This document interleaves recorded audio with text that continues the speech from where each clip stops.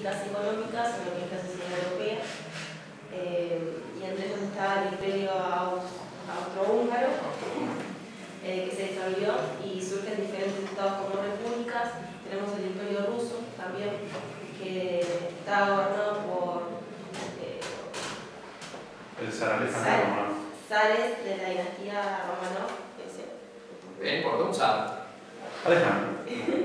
y se dio ante el avance de la revolución de 1917. Después tenemos el imperio alemán, que dejó de existir tras lo que es la, la visión de Guillermo II. Eh, segundo. Segundo. Dos. Dos. Guillermo Chu. Bueno. Mm, bueno, después tenemos... Era Rambo casi, ¿viste? Sí, sí, sí. Antes de formal. Sí, sí. Segundo, segundo. Tenemos a España, a Italia y a Alemania, sí, son los gobiernos que se propusieron instalar regímenes autoritarios. Eh, después teníamos el fascismo, estaba por Benito Mussolini en Italia, el nazismo, que estaba por Adolf Hitler eh, en Alemania, y la dictadura militar de falangista por Francisco Franco, que fueron las nuevas modalidades de, de organización política. Okay. ¿No iba a contar algo? Eh, sí, sí, cuando termine eso, no, no, no, La ley de que está haciendo un Ok, trabajo extraordinario.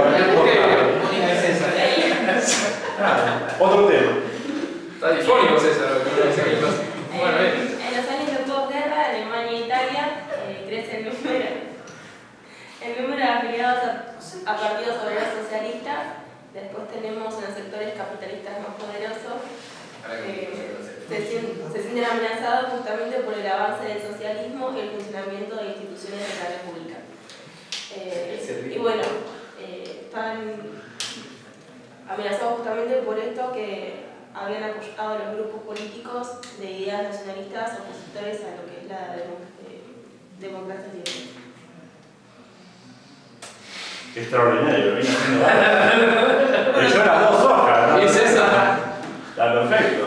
Pero no solo dos hojas, así que. Pero ¿qué puedo contar? Si de la primera hoja dijo prácticamente todo. la crisis democrática que hubo en los distintos países. Ok.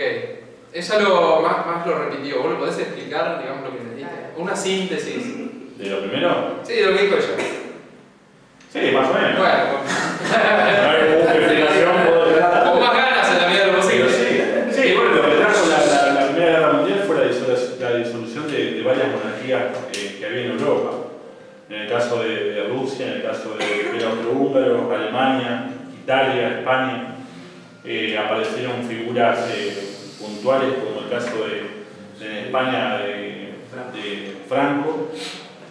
Después apareció la figura de- del socialismo como, como, digamos, como ideología, con Lenin, con el movimiento bolchevique, con el tema de, la disolución del, imperio ruso, eh, perdiendo, digamos, el zar su, su monarquía. Eh, lo mismo pasó con Guillermo II de Alemania, perdiendo también su trono y quedando, digamos, un movimiento más social, más, eh, más del pueblo.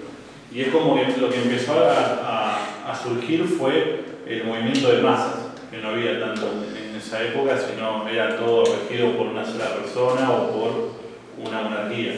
Y empezaron a haber movimientos de, de masas y tras la guerra lo que, lo que, lo que apareció fue el, el socialismo ya como, como una ideología y el fascismo con la imagen de, Mussolini.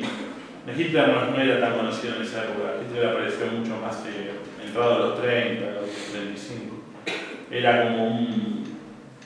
ahí estaba, pero no, no era tan importante como lo que fue Mussolini, que Mussolini aparece de la mano de la- de la- de los grandes terratenientes y de las grandes burguesías de Italia que veían en, en sí que el pueblo se estaba empezando a organizar y no querían. Querían tenerlos controlados y Mussolini fue una imagen que después terminó controlando no solo a la burguesía, sino también a, a- a los sindicatos y, y distintas- distintos movimientos sociales con un autoritarismo que la figura máxima era él. Bien. ¿Sabía? ¿Eh? No, no sé si sabía, pero mintió con una elegancia. mintió con una convicción. ¿No es eso? La nata no es igual. Eh, mintió con una convicción absoluta. Eh, sí, lo que se da luego de la guerra es el surgimiento de algunos